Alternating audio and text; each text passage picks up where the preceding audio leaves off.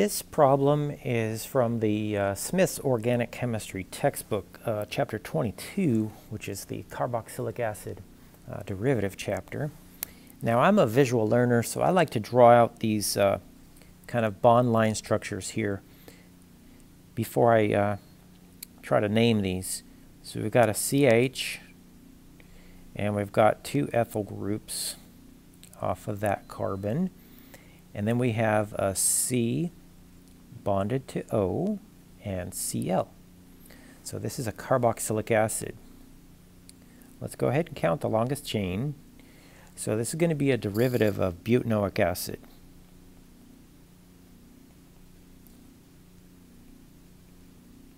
Now there's an ethyl group at carbon 3. I'm sorry, carbon 2. All right. And remember how we changed the name. We chop off the ic acid and we add YL chloride. All right? So this is going to be 2-ethyl butanoyl chloride. All right? In molecule B, we've got C6H5 you should be rather familiar at this point in the course of that being a, a phenyl group. Okay? And then that's bonded to a two oxygens. So it's going to be CO,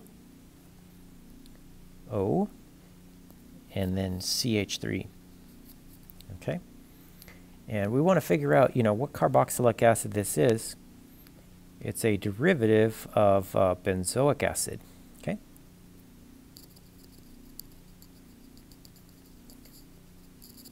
And remember what we do to the end when we have esters.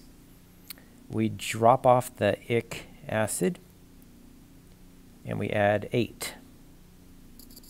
Okay, now we have this methyl group here. So this is going to be methyl,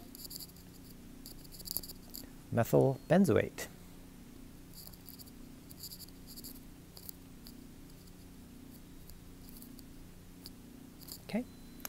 In molecule C, this looks like an amide. Uh, it's really hard to see in this kind of typewritten structure, so let's draw it out and see what we got. We've got a CH3, a CH2. Here's our CO, all right? And then we've got the N.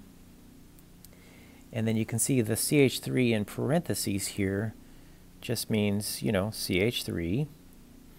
And then we got the ethyl group hanging off that. Okay, so let's try to figure out what the uh, carboxylic acid would be.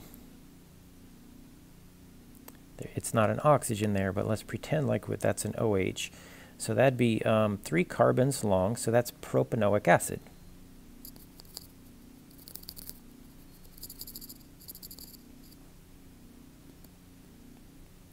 Now remember what we do when we have an amide uh, we drop off the oic acid and we add amide.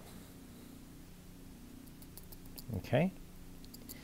Now we've got this methyl group and this ethyl group, and we need to designate that they're attached to this nitrogen by using those italic nitrogens. So let's alphabetize this.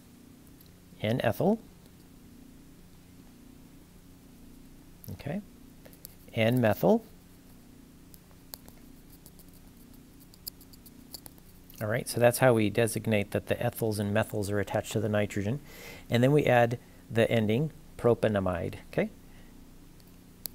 Propan, and then it's an amide functional group. So it ends with amide. In molecule D, this is nicely drawn out for us already. And we can see it's a derivative of formic acid.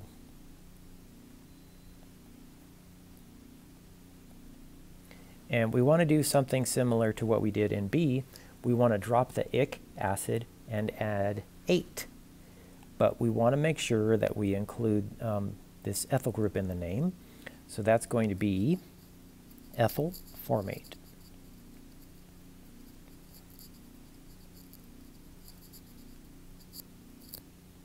Okay. In part E, we have an anhydride functional group. Okay, here's the anhydride here. Now this is unsymmetrical. We have uh, two different parts, right? So we need to think about what is the acid on the left. It's got one, two, three, so that's propanoic acid.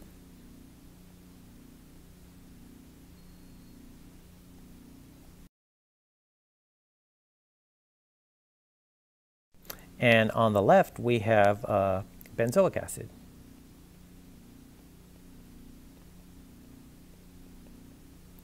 Now we want to abbreviate, or um, I'm sorry, alphabetize the name, so it's going to be benzoic.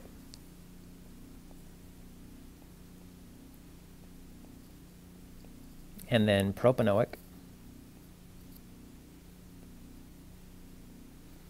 And then we add anhydride.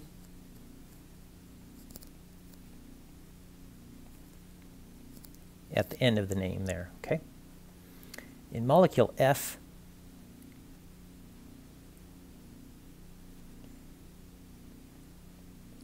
you want to identify the longest chain, and it uh, very nicely goes, you know, straight across the molecule.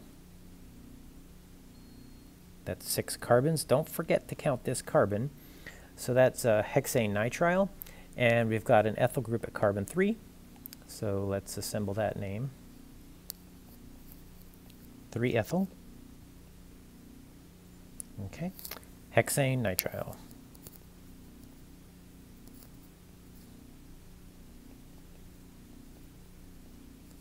So that's a bit of review of uh, naming some things. I hope this video helped you.